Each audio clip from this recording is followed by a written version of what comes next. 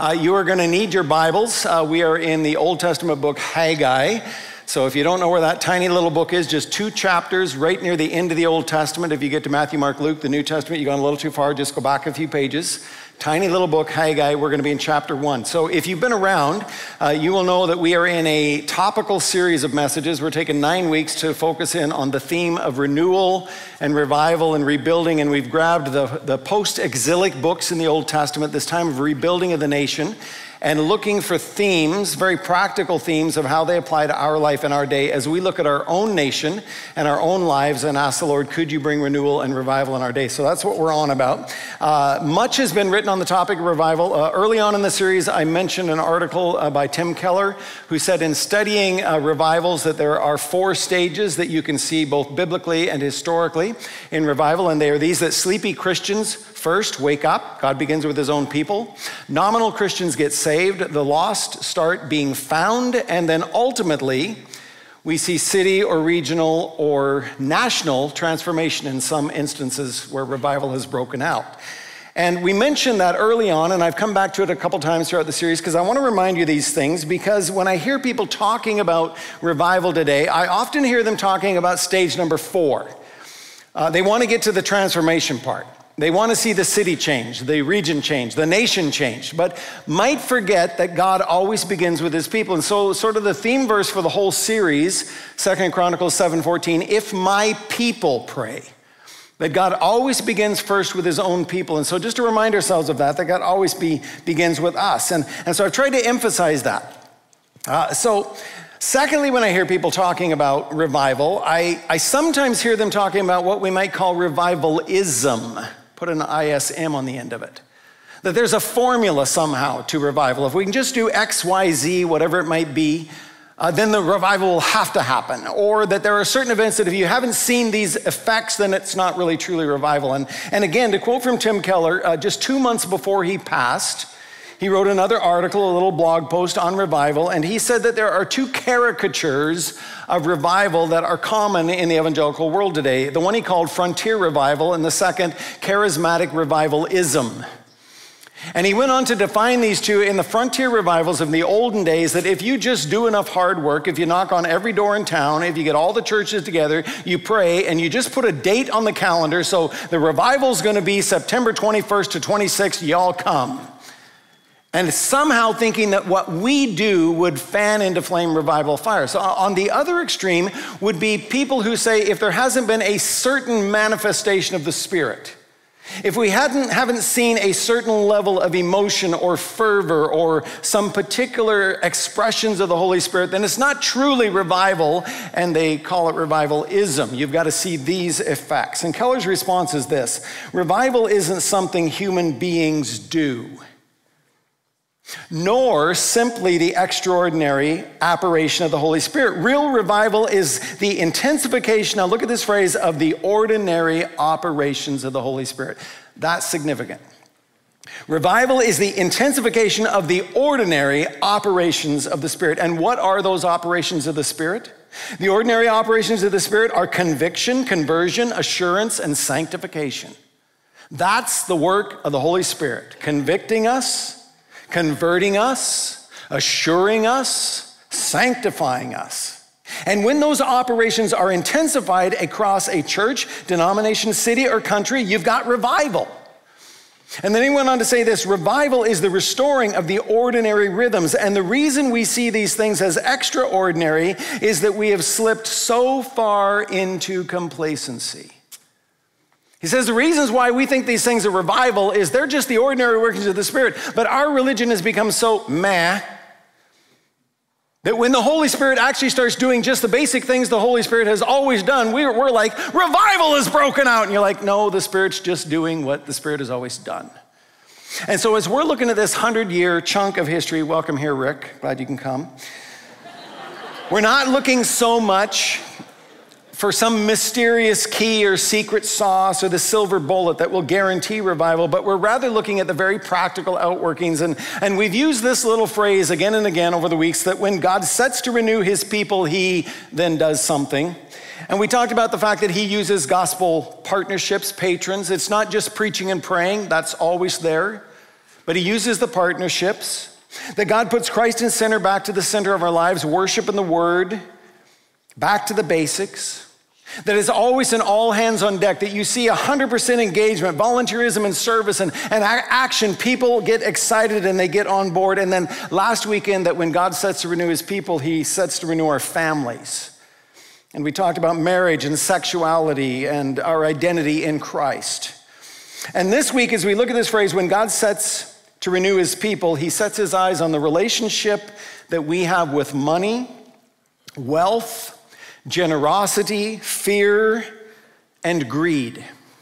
Now, as I was prepping this week, I was very well aware of the fact that while last weekend's message was a little bit pointed, for the most part, I have found that Christians are quite interested in the topic of sex and sexuality.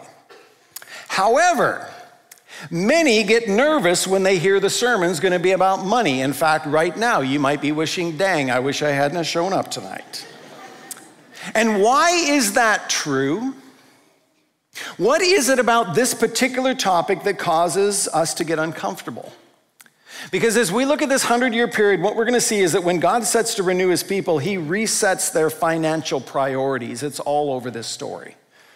So we're going to divide it into four parts. We're going to do a historical review, a quick flyover of the text. We're going to do a deeper dive into the book of Haggai, chapter one. We're going to go back to a 30,000 foot view, looking at some biblical principles, and then finally tie it up with some boots on the ground, some counterintuitive kingdom responses to these things. So, really quickly, just a historical flyover, if you will, this hundred year period of time, realizing that money is talked about in every book of the Bible, and it's the same in this period of time. So, it starts with Cyrus, the king, making a decree that you can go back and rebuild Jerusalem. And very interesting that it was a partnership. The funding came from the free will offerings of the people, but also from the government. That's very interesting.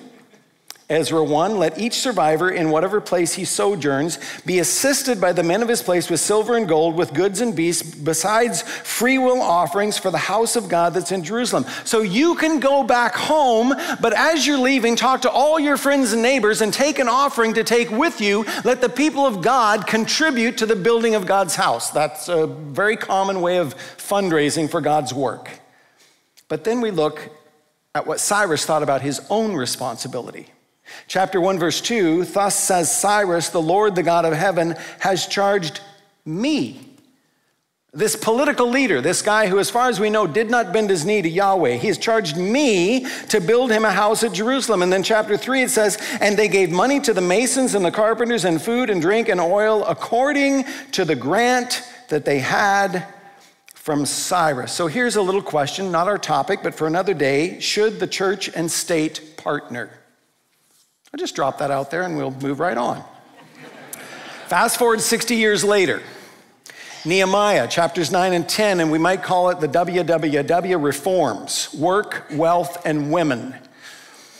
It follows the dedication of the wall and this great day of preaching by Ezra. And the, when he said to them, You know, you're going to have a party on the temple grounds, it's a potluck, the joy of the Lord, is your strength, stop weeping right now. And then it's followed by repentance and a renewal of the covenant. And there's these three areas the renewing the covenant because you've not honored God by taking a Sabbath. You're not trusting Him that you can work six days and God will look after the seventh. They were not honoring Him in their work.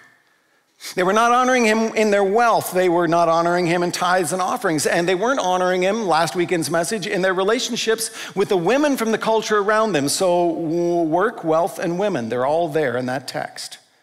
And then finally, if you fast forward to the end of the 100 year period, in fact, add just a little bit on to Malachi's report card near the end. So, probably another 30 years after, and what we read in the last book of the Bible, is that these reforms that we are studying actually didn't stick. The financial faithlessness of God's people comes up yet again. And Malachi says to them over and again instead of giving God your first and your best, you're giving him the leftovers.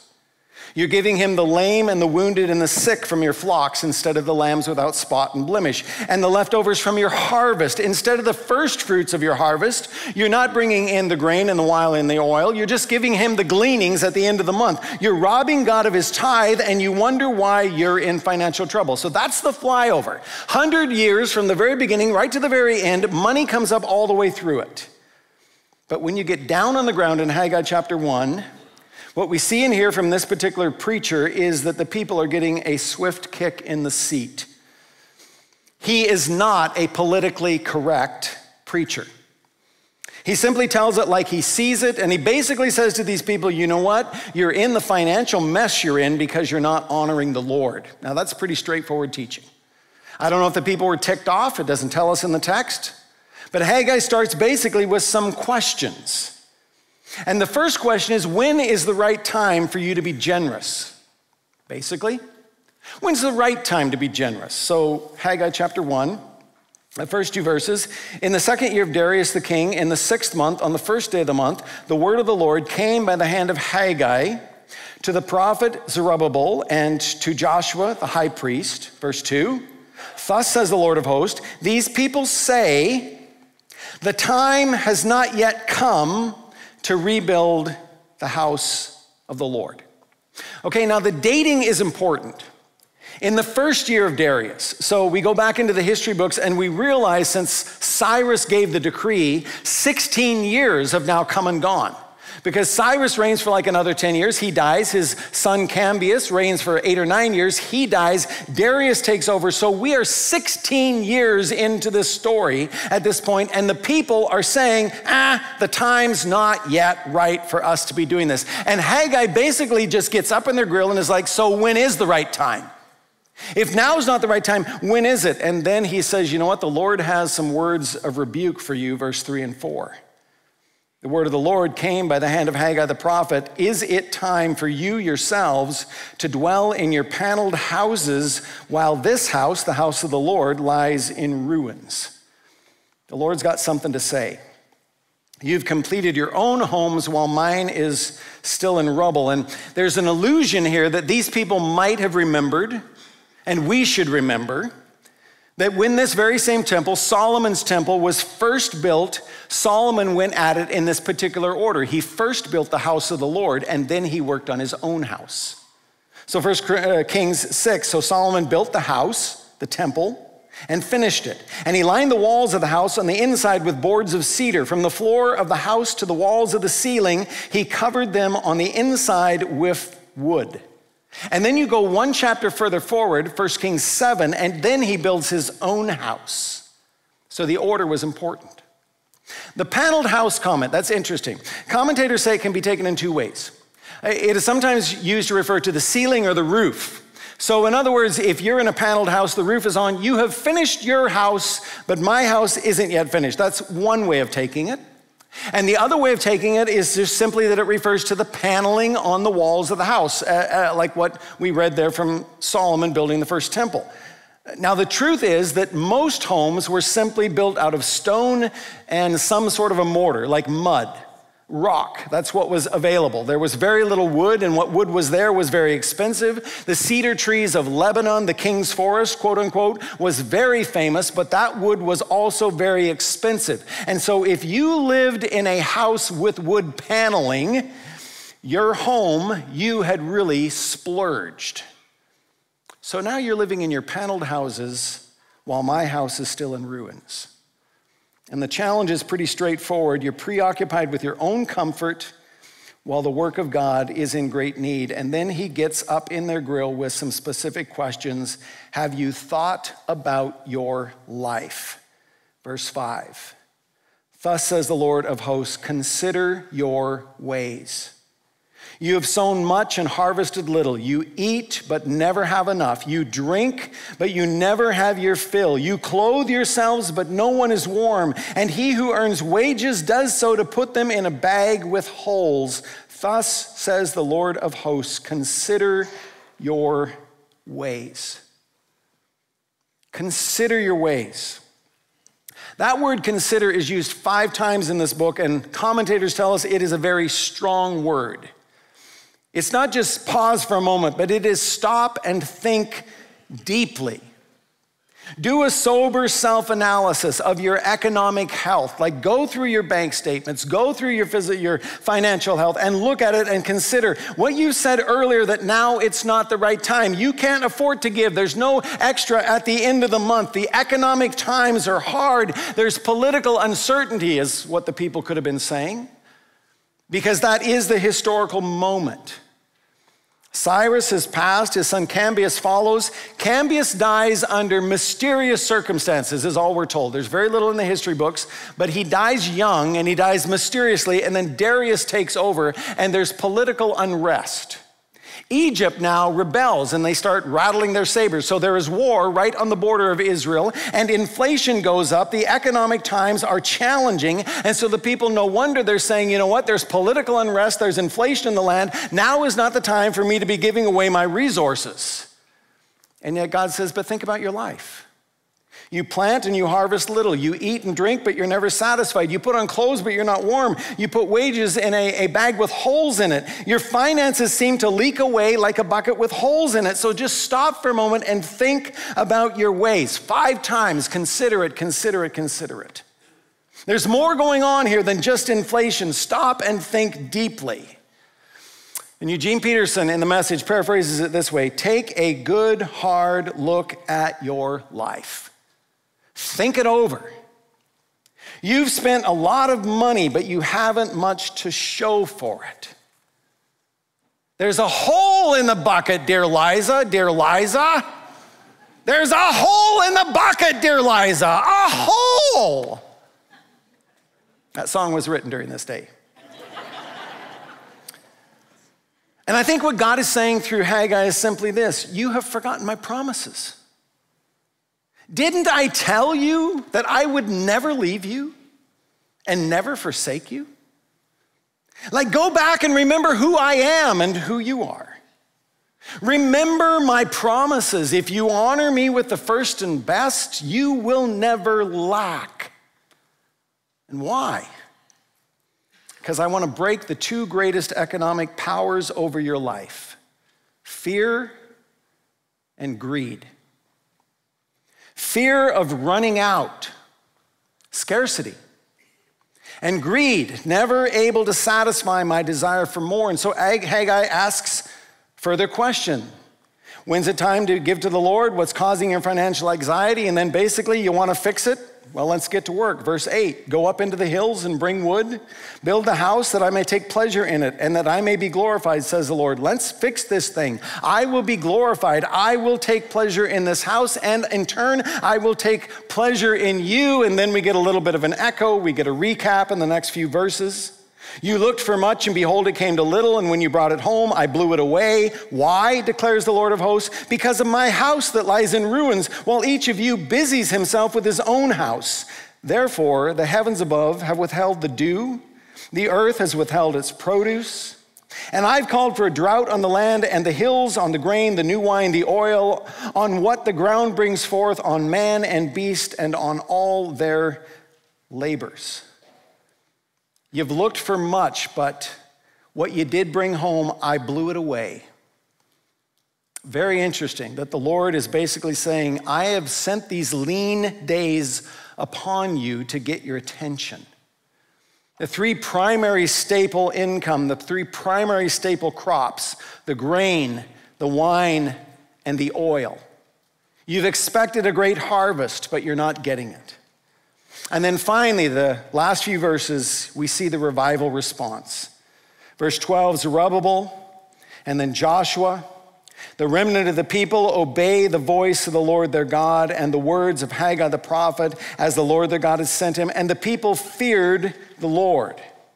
Then Haggai, the messenger of the Lord, spoke to the people with the Lord's message I am with you, declares the Lord. And the Lord stirred up the spirit of Zerubbabel, the governor, and Judah, uh, the governor of Judah, the spirit of Joshua, the high priest, and the spirit of all the remnant of the people. And they came and worked on the house of the Lord of hosts their God on the 24th day of the month, in the sixth month, in the second year of Darius the king. Revival response.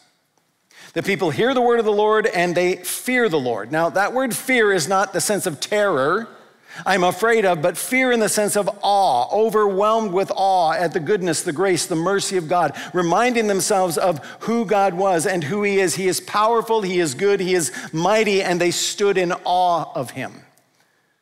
Reminder from Deuteronomy 4 What great nation is there that has a God so near to it as the Lord our God is to us whenever we call on Him? Reminding themselves of who God is. And the Lord stirred their hearts, it says, which is the secret to revival, renewal. It is the Lord who stirs, it is the Spirit who stirs. And then people respond. Okay, so that's our story. And if you pull the plane back up now to the 30,000 foot view of Scripture and literally the 66 books of Scripture, we can be reminded that the greater story of the Bible, that there are so many principles regarding our finance. In fact, did you know that the Bible says more about money than any other topic except God Himself? Did you know that? It has so much to say about how we earn, how we save, how we give, how we spend, how we invest, how we handle debt. It's all there in the scriptures. But most importantly, it reveals to us that God is intimately concerned for us and that He has promised to never forsake us. And He invites us to trust Him in this. And not only trust Him, but that we can actually put Him to the test in this. And there are literally hundreds of verses on this topic. We, we don't have time. Just a couple. Hebrews 13. Keep your life free from the love of money. Be content with what you have, for he has said, I will never leave you nor forsake you. That's interesting that those are coupled together. Keep your life free from the love of money. Why? Because the Lord has said, I'll never leave you. I will never forsake you. You can take that to the bank so we can confidently say, The Lord is my helper. I will not fear what can man do to me. It's an echo of what we have here in Haggai 1:13, the Lord saying, I am with you. I am with you. Now, I'm sure you've heard the statement that honoring the Lord with our finance is both a test and a trust. And there are two great enemies to our placing our trust in God's supply. They are fear and greed, or we might put them this way the empty cupboard syndrome and the more toys syndrome. Fear and greed. The empty cupboard syndrome is the fear I'm going to run out. Fear that will drive me to hoard my stuff and hide from those who have need and maybe get angry if somebody suggests that I should give some of it away. It's mine, it's precious. And I use that analogy on purpose because the Lord of the Rings metaphor, that's what that was supposed to be. And the ring of power that had overtaken Gollum promised beauty, power, provision. With me, you can rule the world. It's mine, it's precious. And it's the reason why in North America that we have this phrase, I'm sure you've heard it. We call it the almighty dollar. The almighty. Very interesting. Now, there's a number of fallacies to that line of thought, of course, and most important is this 1 Corinthians 4 What do you have that you did not receive? That's a very important question. And if you did receive it, why do you boast as if you did not receive it? And so, when it comes to money, when it comes to cash, it is amazing how easy it is for us to believe that we have done this. That somehow we are so smart, we are so strong, we are so intellectual, and yet the scriptures make it very, very clear that you would not earn a dime without the sovereign blessing of God over your life, right? You wouldn't earn the first penny. In fact, you wouldn't take your next breath if it were not for the sovereign hand of God. And so you think you're so smart. Where did you get your brains? You think you're so strong? Where did you get that strength from? Whether it is brains or brawn, it all comes from God. Deuteronomy 8 says, Beware lest you say in your heart, My power and my hand has gotten me this wealth you shall remember the Lord your God, for it is He who gives you the power to get wealth. The Lord is the one who made you able to earn your income. And so I don't need to say much about the second, the more toys syndrome. We live in this sea, it's the air we breathe. We live in a world that is driven along by bigger and better, faster and shinier, new and improved. I'm sure you've seen the bumper sticker.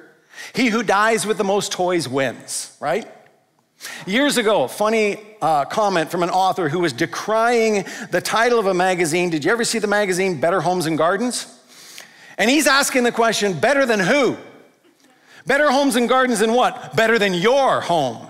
Better than your garden. Just look at what others have been able to do that you don't have. Look and weep and then jump on the train and just try to keep up with the Jansons. Luke 12, Jesus would say, Take care and be on your guard against all covetousness. For one's life does not consist in the abundance of his possessions. He goes on to comfort them, Jesus, saying, I know what you need. Don't be anxious about your life, what you'll eat, or about your body, what you'll put on. All the nations of the world seek after these things. Your Father knows you need them. Instead, seek His kingdom. And these things will be added unto you. So, in a culture that is steeped and driven along by greed, We've got to think about these things. So, J.D. Rockefeller, Rockefeller was the world's first billionaire, like 100 years ago, long before there were many, many billionaires. And he was once asked the question, How much is enough? And he answered almost immediately, Just a little more. Just a little more. And our lives are flooded with displays of great wealth and insatiable drive for more. You can have it all, you just got to work a little harder. And Psalm 49 would say, don't be afraid. And the word they're afraid is don't be overawed. Don't look with, you know, awestruck eyes and wonders when a man becomes rich, when the glory of his house increases. For when he dies, he'll carry nothing away, and his glory will not go down after him. And so the empty cupboard syndrome or the more toys syndrome can hold us hostage. And Jesus said it that we can't serve both God and money. And so we need to be honest. Uh, we in this room need to be honest that we live in the wealthiest generation that has ever walked the planet, and we also live in the wealthiest part of the world. We, uh, listening to this message, are the world's 1%. Uh, I've said this to you many times before. This year on your tax return, if you had more than $10,000 in your income, you earned more last year than 80% of the world's population. And if you happen to have had more than $50,000 on your tax return, you earned more than 99% of the world's population. We are the 1%. Is that not amazing? So we need to thank God for that and be very, very aware. We need to pray that God would open our hearts and minds of the people around us as we look to uh, building programs and ministries to take the gospel uh, to our city, as we plant churches, as we look to the spiritual needs of the nations. Are we also willing to trust Him for every need? Because these people, in essence, were saying, right now is not a convenient time. It's not the, the time for me to be giving, or we can't afford to give. Uh, we've got holes in our pockets, and so I can't afford to give. And, and as I say that, I was reminded this week of a funny story from like, it's got to be 30 years ago. I don't know if any of you remember the name of Richard Halverson, but he was the chaplain to the US Senate. Not a role that most people know about, but this guy was sort of an outgoing, uh, charismatic type personality. He was a Presbyterian pastor and he spoke at a lot of events. And I remember I was probably in college, him telling the story of in Washington, D.C., he's meeting with this young lawyer, and the lawyer's like, Pastor Halverson, can you pray for me? I've got a problem. Great, let's talk. He says, You know what? Back in the day when I was just clerking and I was, you know, a law clerk and I was lobbying in the, the halls of power here in Washington and living in a one bedroom bachelor suite and earning just $30,000 a year. Like my parents taught me to tithe and so it was easy back in the day. 3,000 bucks off the top, I tithe, I gave, but I got to be honest with you. The years have gone by. I've gotten married. We're living in a big house. I'm in practice now. And I'll just be very honest with you. This year I brought home $300,000. And if I tithe off that, that is $30,000, and I literally cannot afford to tithe. Can you help me? And the pastor said, I'm not sure I can help you, but what I can do is I can pray for you. That's great. And as Halverson tells the story, they got down on their knees in his office, and Halverson prayed like this Lord, you have heard my brother's story. You have heard his deep desire that he wants to honor you with his wealth, but he simply cannot afford to honor you. So I'm asking you that you would reduce his income back to the place where he can afford to tithe once again. Now, that, of course, was not what that young man expected. And someone is probably asking the question right now so what? Are we supposed to feel guilty for everything that we have? No, absolutely not, because every good gift comes down from the Father of lights. But we need to remember that it has indeed come down from Him. Every gift is from Him. It's why we continue to pray for our daily bread, right? Why do you give thanks when the cupboard is full and when the deep freeze is full and when the second fridge in the garage is full? And if, if you run out of food, Costco's got lots more. Why do you give thanks for your daily bread? To remind yourself that even your daily bread comes from the hand of God. And so, the countercultural, intuitive response of the kingdom of God you want to break the power of greed and fear? The easiest thing is to give it away. So, Wesley was a great preacher, and he actually had the ability to make a lot of money. He was a popular itinerant speaker, and particularly as he began to write books, and those books were selling, and he made a decision early on that he would give away all the proceeds from those books. And he made this statement, and he said, Money never stays with me. It would burn me if it did. I throw it out of my hands as soon as possible, lest it should find its way into my heart. Now, now, Wesley was not against money, and he did a lot of teaching on money. And he had three principles that he was famous for telling people what to do with their money earn all you can, save all you can, and give all you can. There's a very good sermon outline right there. So, when God sets to renew his people, he resets their financial priorities. And it's a massive topic, it's all over the Bible. And I think there can be uh, no other reason for that than simply that money is the number one idol, the number one rival God to God Himself. There's no other substance that takes on such godlike power over our lives. And we might ask the question why does money talk make people nervous when it shouldn't? Every single one of us needs money for our daily lives, and God provides everything that we need. Uh, uh one of my very first jobs, young teenager, 13, 14, working for a janitorial company. And an old, crusty World War II vet named Ray Hulick was my boss. And he talked a lot and he had a lot of cheesy jokes and he, he talked about money a bit and he would say things like, It ain't a sin to be poor, it's just awfully inconvenient. And then many, many times, in fact, I think almost every week, he would say to me, Mark, never marry for money, but where there's money, look for love. Didn't work for either Carolyn or me. And in the day that we live in, we cannot be fearful to speak the Bible's countercultural sexual ethic. That was last weekend, right? And nor should we shy away from digging deep into what the Bible says about money. And so let's wrap it up. How does our view of money change in times of revival? How do we fix our fear? How do we fix our greed? We get our eyes on Jesus again. You're like, well, remind me of that. Well, First Peter says, You were ransomed from the futile ways inherited from your forefathers, not with perishable things such as silver or gold, but with precious blood.